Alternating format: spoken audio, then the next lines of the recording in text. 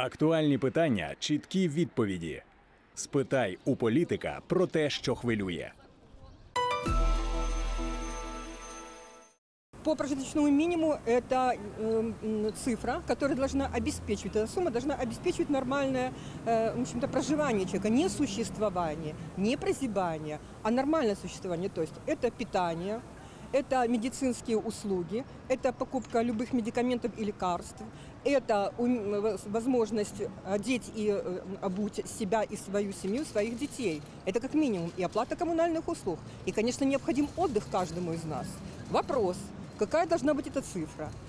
Знаете, можно сделать прожиточный ми- правительство может напечатать денег и сделать деньги и промышленный и прожиточный минимум может быть и увеличить до 5 тысяч. Только на них ничего нельзя будет купить. Так нельзя говорить, что вы абсолютно правы. В условии прожиточный минимум самое главное, главное слово это прожить на этот минимум.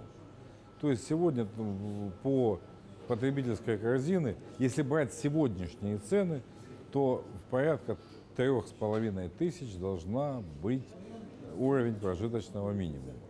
Откуда взять эти деньги, которые власти специально занижают прожиточный минимум, чтобы не увеличивать пенсии и не увеличивать зарплату тем, кого они наняли на работу, то есть в бюджетной сфере.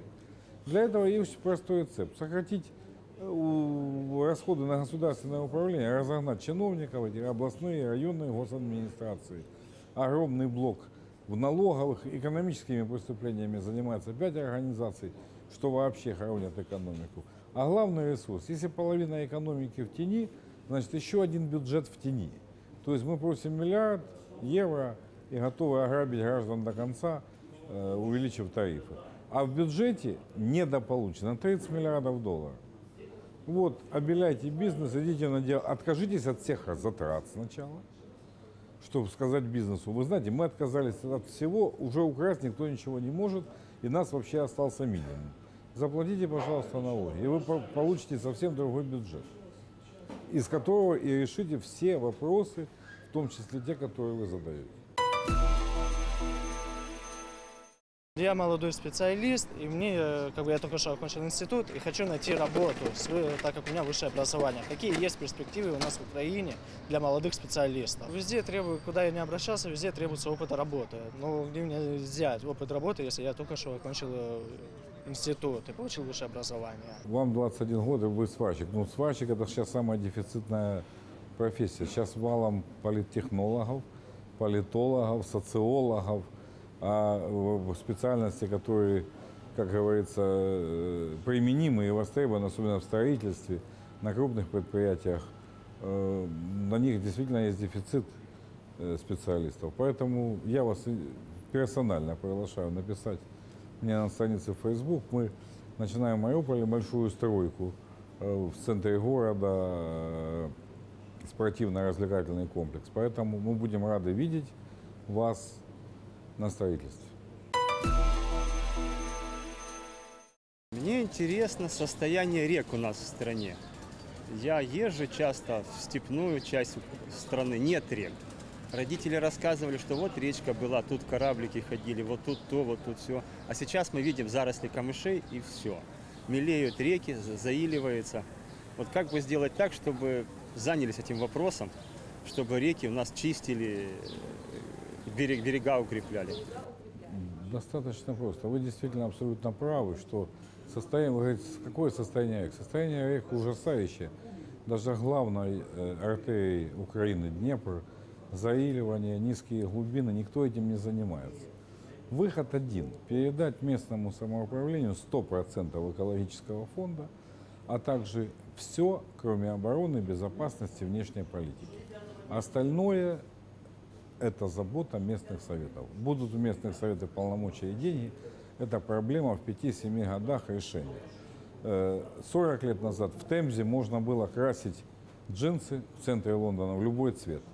А уже как 15 лет можно ловить форель прямо в э, акватории Лондона. Вот это пример, как быстро можно решить проблему.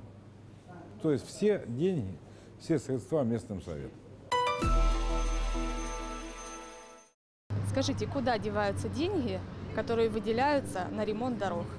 Почему даже э, во двор заехать невозможно. Это колдобины, это жуткое состояние дорог и цены на бензин соответствующие. То есть э, неужели э, из этих денег, которые проплачиваются э, с- тех же процентов, которые идут на дороги, мы не можем иметь хорошее качество дорог европейское, а мы в Европу собрались.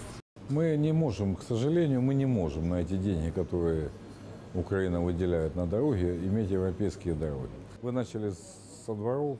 Это исключительная за- забота местного самоуправления. То есть будет 100% доходов у Мариуполя, останется в распоряжении. Я думаю, эту проблему за полгода решать. Что касается национальных и международных транспортных коридоров, Украина должна вкладывать вместо э, растягивания на войну, на теневую экономику денег, вкладывать 5 миллиардов долларов каждый год в дороги. Эти 5 миллиардов долларов – это э, тысячи километров дорог каждый год, новых абсолютно, я подчеркиваю. Чем отличается, вот вы говорите за Западную Европу. Западная Европа вкладывает сразу 5-6 миллионов евро в дорогу высшего качества. И 25-30 лет к ней не подходит. Украина каждый год вкладывает там 500 тысяч гривен или 50 тысяч. И все 30 лет не имеют никаких дорог, хотя уже за 10 лет эта сумма полностью себя э, равняется западным. То есть полная, как говорится, полный бардак. Нам нужно сразу вкладывать большие деньги и строить дорогу, сократив расходы на э, управление государством и вытащив экономику из тени. Не хватает э, как бы э, куль- культу- культурной жизни в городе, а это сказывается на, на доверии горожан друг к другу, на общении. Ни для кого не секрет, что Мариуполь достаточно депрессивный и вообще вос- Восток, промышленная, индустриальная часть Украины достаточно депрессивная, здесь культуры не хватает. Да, я согласен. Но ее, к сожалению, не хватает не только в Мариуполе, а в целом по стране, потому что отсутствие постоянной работы вытолкнуло миллионы людей за рубеж, и неполные семьи, дети предоставлены сами себе, а с этого начинается будущее Украины, с детей.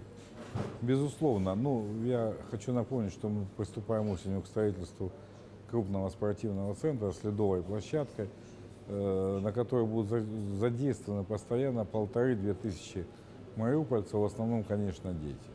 Там будет помещение для театра, и сверхсовременный кинотеатр, которых в Украине пока еще нет.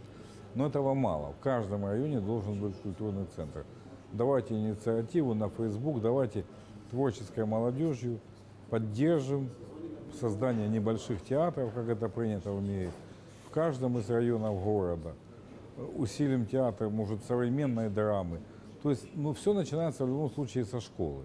Чем сильнее школьные кружки, тем сильнее э, поле для применения. Но и наших пенсионеров тоже без внимания нельзя оставлять. Тоже их надо массово вовлекать в культурную жизнь города. Вопрос вы подняли сверхважный. Давайте пообщаемся в индивидуальном порядке и выясним, какие у нас есть вместе с городским головой, с Вадимом, выясним, какие у нас есть возможности для быстрого развития по-настоящему культурной среды в Мариуполе.